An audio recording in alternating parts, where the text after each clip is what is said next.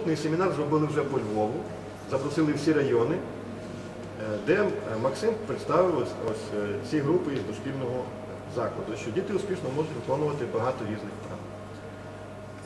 Методика Максима була побудована на переміщеннях.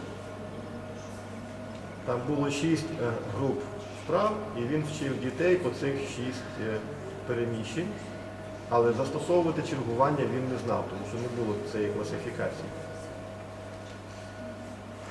Йому було 22 роки, він навчив е, ну, величезну кількість викладачів. А тепер подумайте, як вам в 22 роки можна було би навчити таку кількість людей е, застосовувати ці методи з програми, якщо ви самі не знаєте цієї програми.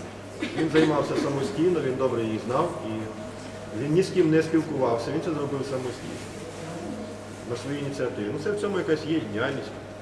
Тому що я вважаю, до сьогоднішнього дня рівних йому не було. 20 чимось років дитина навчила, ну я вважаю, що він дитина, тому що в нього не було ще сім'ї. Але таку кількість людей, правильно, методично, без помилок, не маючи негативного досвіду, з допомогою чого, я сам не розумію на сьогоднішній день.